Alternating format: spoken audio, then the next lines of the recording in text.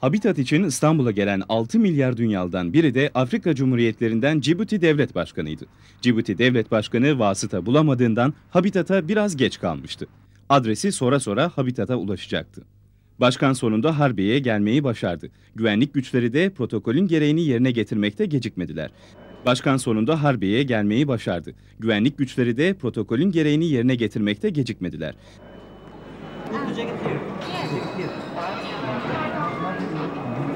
Cibuti Başkanı meteorolojiyle ilgili konferansa katılacaktı. Başkan gazetelerde Türkiye'ye gelişiyle ilgili haber aradı. Bu arada habitat çukurlarına düşen bir delegeyle karşılaştı.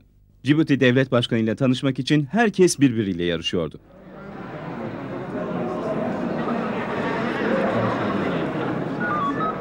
Başkan sonunda basının hücumuna uğradı.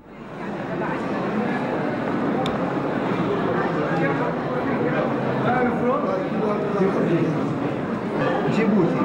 Du Gauthier, ok.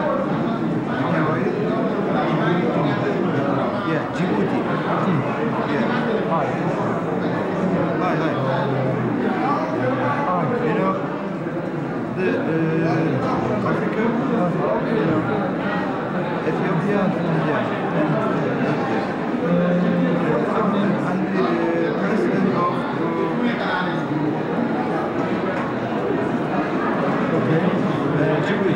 Djibouti. Uh, what's your name? Uh, Hassan. Hassan. Hassan. Abba Motif. Ava Motif. What, what's your name? Zafar.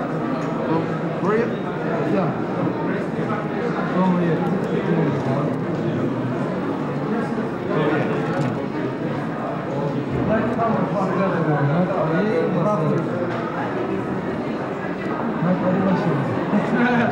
Ulan Ahmet kim bu ya? Kim? Allah kahretsin.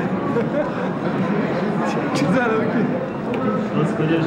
Cibuti lideri yarın yapacağı basın toplantısı öncesi İstanbul'da dolaşmak için Habitat alanından ayrıldı. Önce Taksim'deki anıta çelenk koydu. Cibuti protokolünde karşıdan karşıya geçerken uygulama değişikti. Ancak başkanın Cibuti'den para transferi gecikmişti. Devlet başkanlığından daha geçerli bir iş yapacaktı.